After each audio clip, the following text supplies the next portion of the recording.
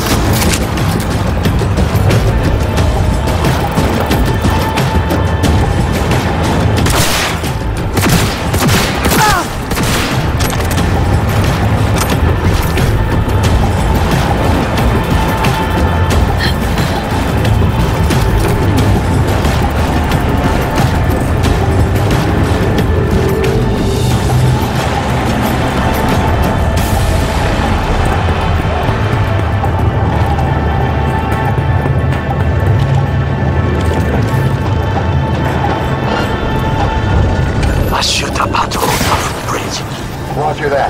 White jacket. Well, That would be all. Yes, apparently. Well done.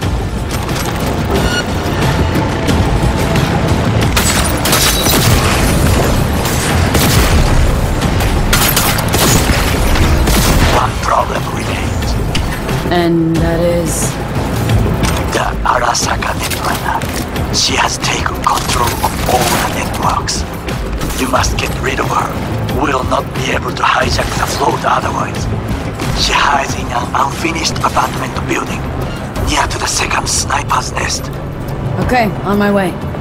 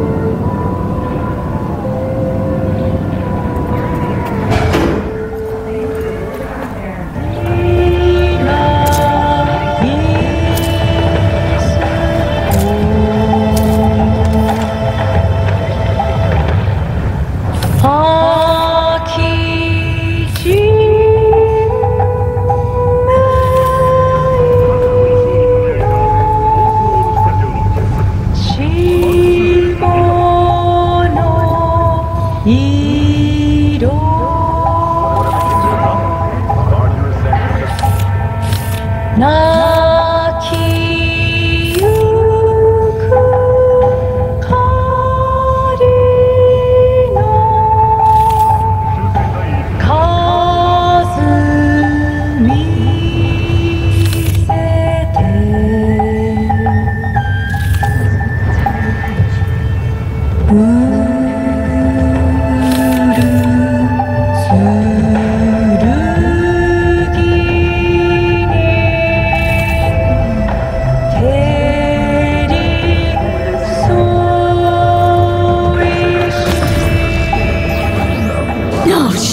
Not good.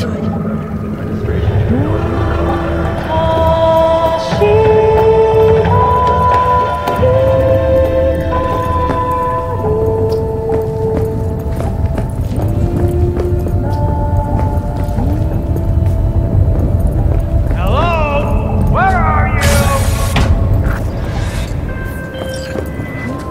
Now, V, I have attention.